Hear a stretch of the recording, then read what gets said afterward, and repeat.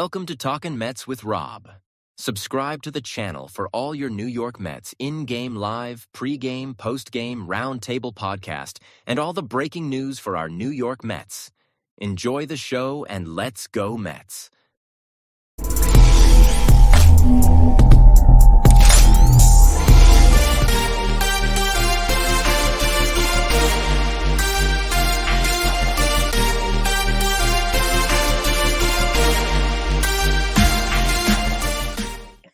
What's up, Mets fans? Welcome back to Talking Mets and Rob. How is everybody doing? Before we get started talking about the Mets and Phillies series recap, don't forget, guys, if you enjoyed this video, hit on that like button. If you enjoy my content, want to see more, want to get notified when I post my videos, and when I go live, you guys know what to do.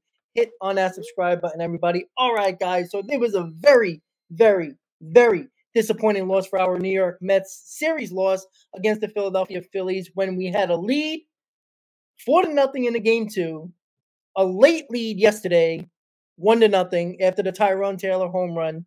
Both comebacks from the Philadelphia Phillies. The bullpen in game two was the culprit. The offense after the third inning in game two and almost all of game three were basically nowhere to be found. And Diaz didn't come through in the bottom of the ninth to get us to the 10th inning, and we lose the game on a walk-off hit by JT Realmuto. But a little bit of good news. The Braves did lose yesterday, and the Dodgers finally helped us out, and the Mets are still tied with the Atlanta Braves going into their homestand, seven-game homestand against the Washington Nationals and four against the Philadelphia Phillies. So, where are we, we after this series? Well, we didn't technically lose a lot of ground, right? We lost a game, we were up a game, but we're all still tied with 13 games to play in the regular season. Seven of those games are still against the NL East, and it's looking it's it's just gonna come down to that Brave series. We all know it.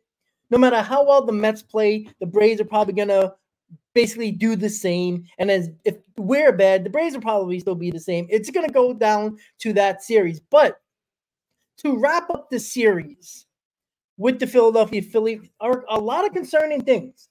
Even though this team has been extremely good, there's still a lot of concerns going into the last 13 games of the season. The offense is sporadic.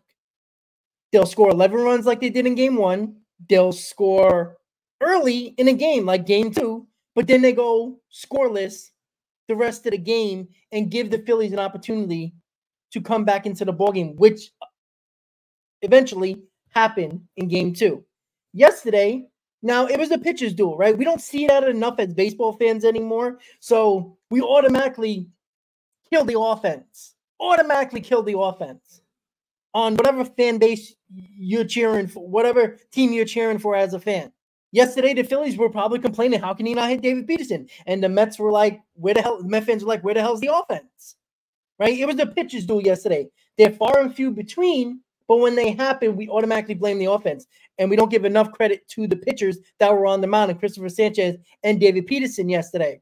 But there was opportunities for both sides, specifically for the New York Mets. The New York Mets had opportunities. They had it late, even after the Tyrone Taylor home run. The Mets had an opportunity to score another run, and who knows if it was two nothing going into the ninth, maybe the Phillies wanted to come back. You know, a little bit of pressure on them, a little bit of you know squeezing of the bat, and maybe the Mets would have won the ball game.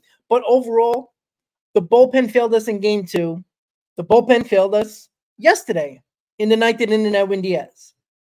The problem that I had in game two and three with the bullpen is specifically Reed Garrett in game two. And Cal Stevenson, who is basically a nobody, you have him on a full count. Your best pitches in that game specifically was your splitter and your fastball that you were throwing at 99 with your fastball, and your splitter is your put away pitch.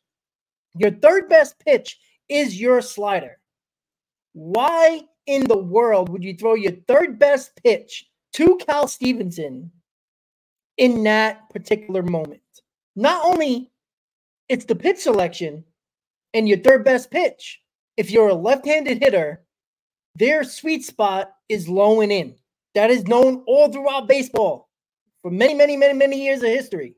That was the worst pitch selection, the worst location against Cal Stevenson. When you throw 99 in that game, you were throwing 99. Cal Stevenson couldn't catch up to your fastball in that at bat. You sped up his his bat with that slider, and it was in his wheelhouse, low and in. That was the frustrating part. Not only did the offense didn't score any runs in that game, too, after the third inning, you had Danny Young that couldn't get out of his own way, walked a couple of batters, didn't look good. Reed Garrett had to come in and listen, he had to be perfect, right? Reed Garrett is one of the guys Mendoza trusts every single time, it seems like, with runners on base. He just has to be perfect. He wasn't. But it wasn't just him not being perfect. If you do a 99 miles an hour fastball and Cal Steven turned on it, okay, you tipped the cap. But throwing your third best pitch in the location you did was just waiting for disaster. And it happened. When you have a 4 nothing lead, you gotta hold it down, regardless of the offense not scoring any more runs. It's four runs, four run lead. Severino was pitching good. The only guy that got to him was Harper with a solo and a two run homer. We still had a lead, and then the bullpen couldn't hold it. So it's a lot of aspects of game two that was concern that was frustrating, but we still should have won the game. And the bullpen needed to hold it, and they didn't. Game three, nobody was doing anything offensively. The offenses on both teams were getting shut down by Peterson and, and Sanchez. And then Tyrone Taylor, who wasn't even supposed to play because of the Marte hit by pitch the day before, Tyrone Taylor hits a huge home run in the top of the eighth. And the Mets had an opportunity to score another run, but did not and failed to. And then the eighth inning comes. You got to be better. You got to be better. They tied a ball game. All right. They tied a ball game. We're not done yet. Top of the ninth comes. Show a little bit of something, but do not score. In the bottom of the ninth with Edwin Diaz.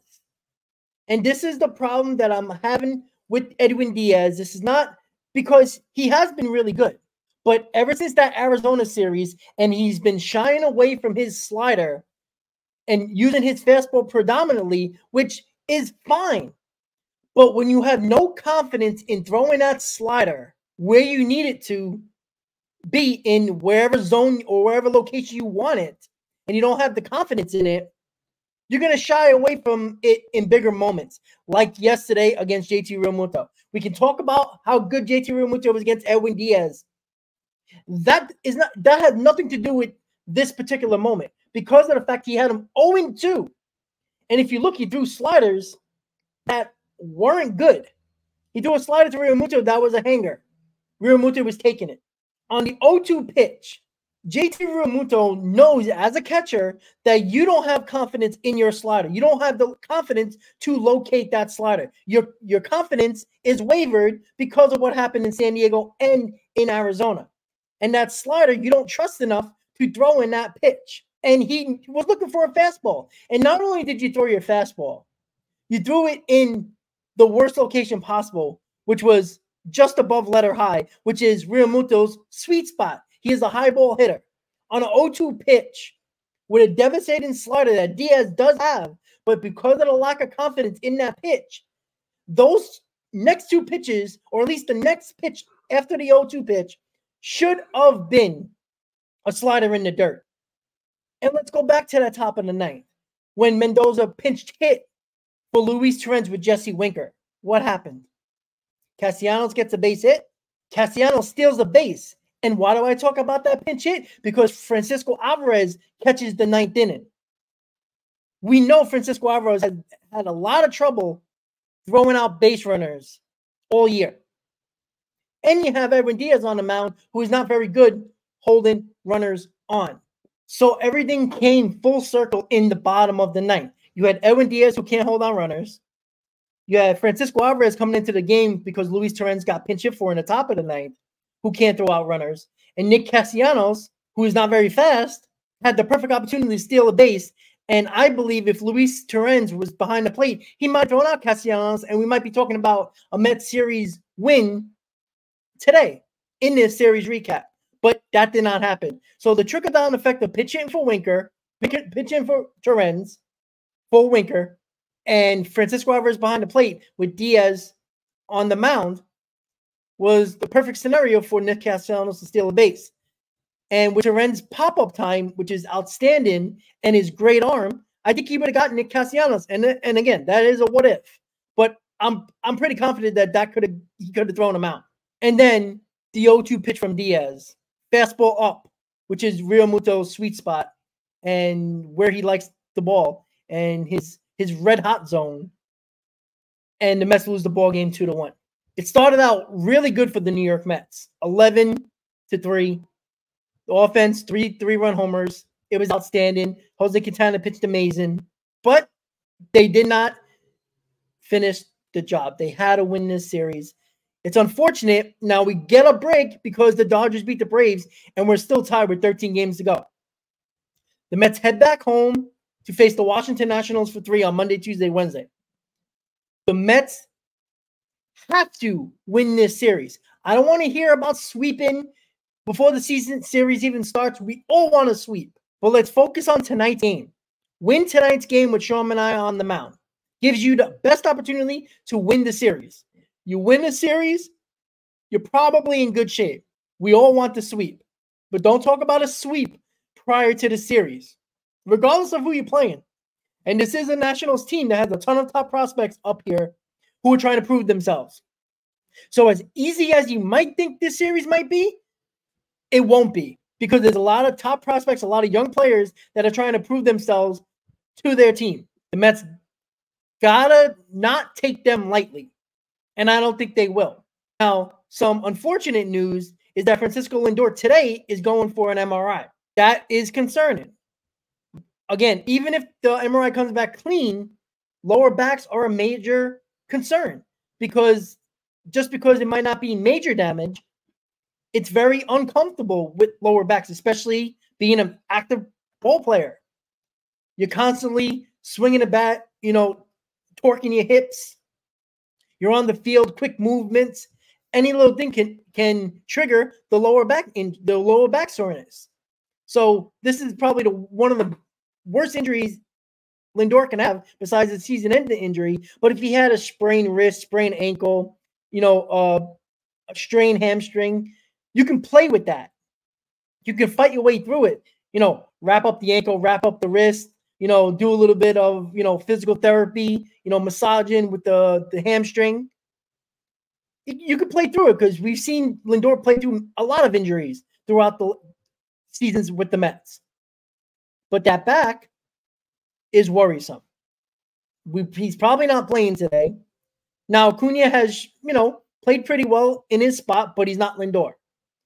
Can the Mets win without Lindor, regardless of the opponent?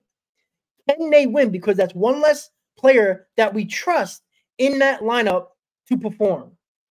And this is where we got to talk about Nimmo and Alonso and Vientos and Martinez. These guys got to step up. Alonso has put better at bats together. The production isn't all the way there, but he's put better at bats together. Nimmo needs to be better. Martinez needs to be better. Vientos needs to be better. They got to step up. If Lindor's not going to be in this lineup tonight and go and at least for the next couple of games, as long as the MRI comes back clean. So tonight against the Nationals with Manaea on the mound, win the ball game. No excuses, and other guys have to step up. That's a big key to the to this to the series. The other guys got to step up. We repeat ourselves as Met fans constantly, but it's a fact. They got to step up. Somebody's got to step up. Lindor can't do it on his own. And when he's not in the lineup, he can't do it at all, obviously. So who is going to step up? Let me know in the comments, guys, who you believe is going to step up in this Mets lineup in this national series if Lindor is not in the lineup for this series. Once again, guys, if you enjoyed this video, hit on that like button. If you enjoy my content, want to see more, want to get notified when I post my videos and when I go live, you guys know what to do. Hit on that subscribe button. Mets fans, let me know in the comments how are you feeling right now. We did get lucky with the Dodgers beating the Braves. We're still tied with 13 games to go. Let me get your feeling. Let me get your thoughts and opinions in the comments, guys. Once again, guys, thank you for watching. And as always, Met fans, let's go Mets. Welcome to Talking Mets with Rob. Subscribe to the channel for all your New York Mets in-game live, pre-game, post-game, roundtable podcast, and all the breaking news for our New York Mets. Enjoy the show and let's go Mets.